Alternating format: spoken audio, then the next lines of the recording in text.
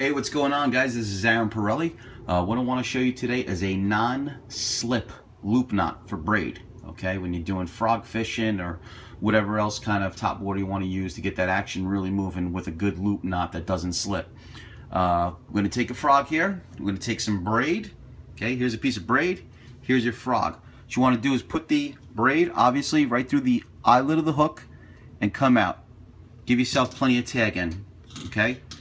Next, take your frog and your line and just make a simple overhands knot, basically a surgeon's knot, okay?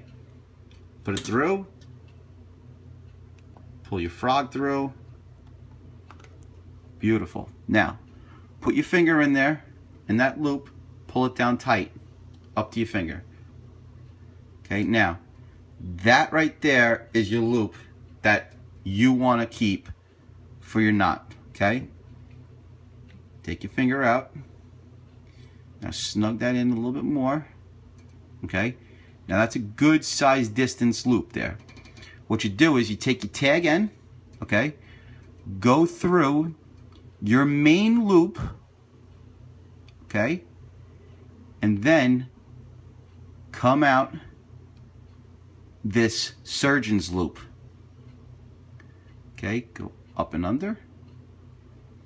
So you have something that looks like this.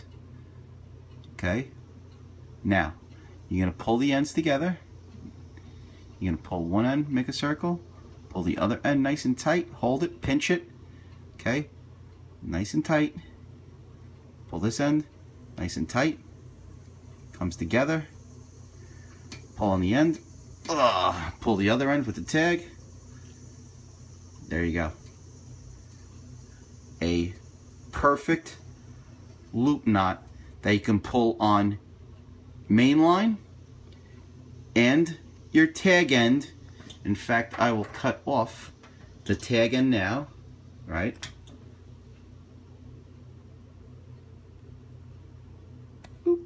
There's your tag end.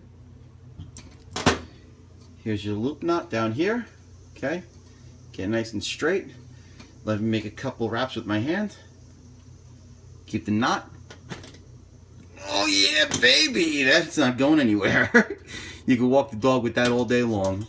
So, you're ready to go. Get on the water. Go hit your lily pads. Go hit your grass. I call this the Aaron's Loop Knot. Enjoy it, guys. Good luck fishing.